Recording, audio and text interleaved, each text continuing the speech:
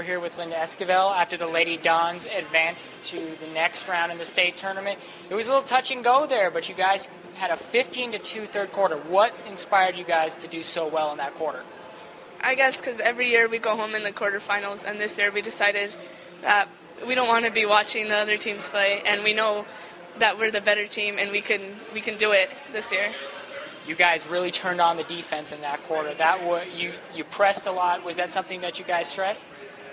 Well, we started off man to see if see how things were, and in this we talked about it in the locker room, and he said, um, "I think we should go into a diamond and into a two-three, And our press, we have a tough press, and we have a tough man. So either one we did, we knew we had to come out strong. And I guess the diamond gave us more confidence being into a diamond and, and playing zone than man did. So we that gave us our, our spark to take it.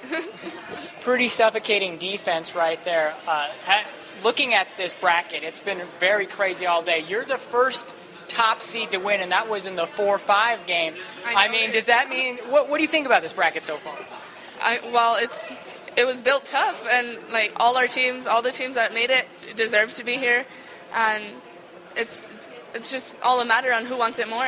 And like you said, all the top haven't been winning except for us because we noticed Portales went out and Pojoaque went out. Uh, well, we don't know anything about St. Mike's. I mean, Santa Fe didn't yet, so. Yeah. Um, okay. Aside from basketball, what are you guys going to try to do to cool down, relax from this game to move to the next one?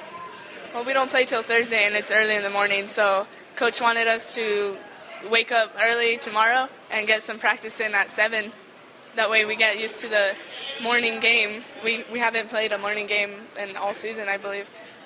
Okay, so your only day off and coach is making you get up early. Thanks a lot, Linda. Good Thank luck you. in the next